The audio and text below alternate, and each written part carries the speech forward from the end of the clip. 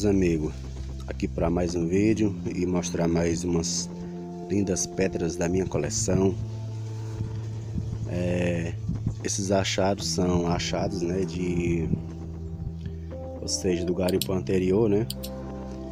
E hoje vamos mostrar elas aqui uma por uma, né? Para mim são pedras pré-diluvianas porque elas são cristais muito antigos, muito danificados pelo tempo, né? Por exemplo, esta daqui, ela é um cristal fumê, né? Cristal Murion. Ela tá um pouco desgastada a cor, mas ela tem umas partes, umas listras bastante preta, né? Que ainda restou dela, né? É, eu dei um, hidratação com óleo em todas elas, né? Entendeu? Deu hidratação em óleos cadeias para poder dar assim uma boa aparência, né?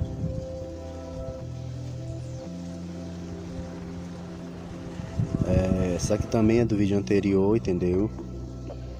É, algumas delas aqui eu já dei um passei a lixa de fibra nelas para dar mais limpeza, né? Porque é, para elas estarem muito arranhadas e só o óleo não bastava retirar delas, né?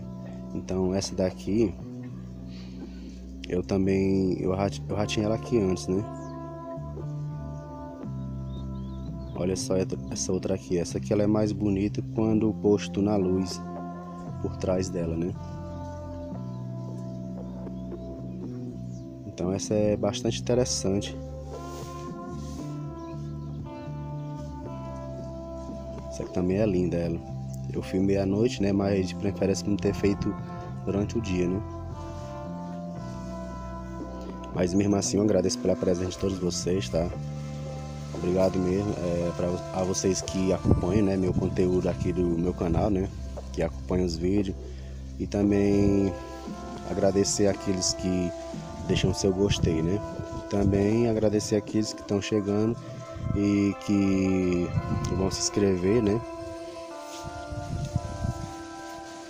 Temos essa outra aqui, é, essa daqui já é, é enfumaçada, né?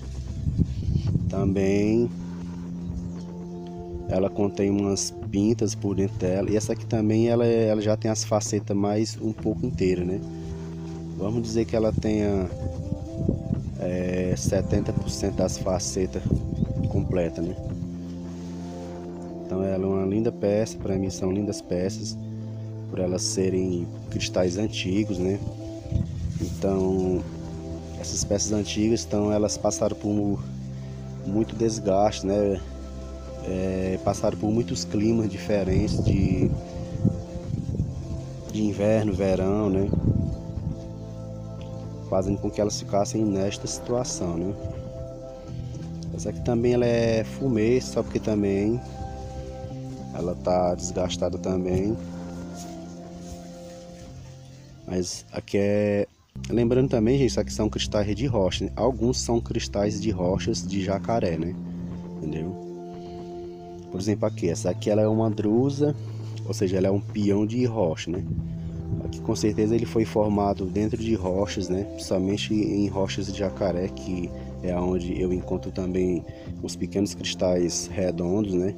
Cabochões de cristais cravados nessas rochas de jacaré, né?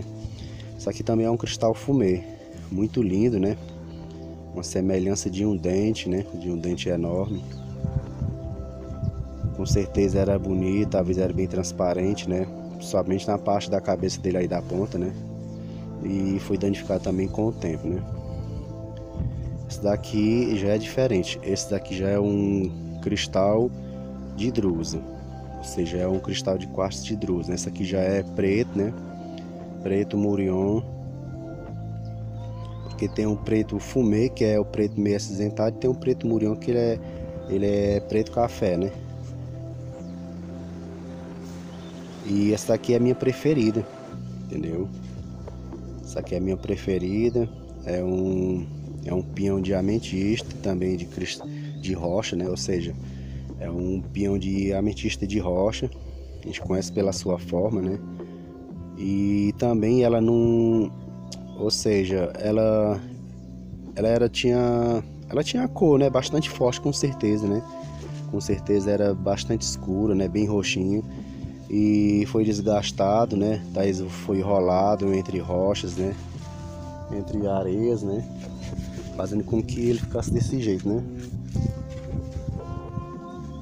Mas é uma linda peça, ainda tem bastante colorido, né? Entendeu?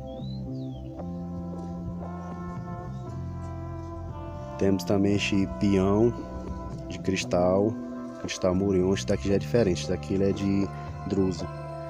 Por que, que eu digo que ele é de drusa? É pela sua forma do pé, né?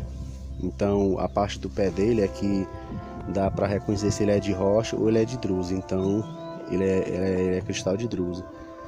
Agora eu lhe pergunto, você acha que a drusa era pequena pelo tamanho dele? Com certeza não, né? Com certeza essa drusa era enorme, era enorme. Tem um amigo meu aí, né, que ele, nosso amigo Roger aí, né, ele tem uma, desse, uma dessas aqui, né, uma dessas peças também maior ainda, né. Isso daqui também, gente, ela é uma, ou seja, ele é um peão, peão de ametista. Isso daqui já foi desgastado, né, Lembrando a vocês, gente, que a ametista é, ela pode perder assim a sua cor, né? Se ela ficar exposta muito tempo no sol, né? Como este peão aqui talvez foi exposto ao sol por muito tempo, né? É, então ele, ele foi perdendo a sua cor, né? Fazendo com que ele ficasse meio embranquecento. Então quem tem joias de ametista, né? Entendeu?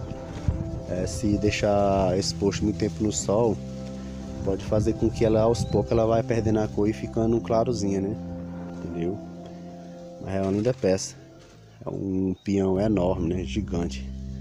Essa aqui também é outro, é outro peão de ametista, né? Muito bonito também. E também foi danificado, né, pelo tempo, né?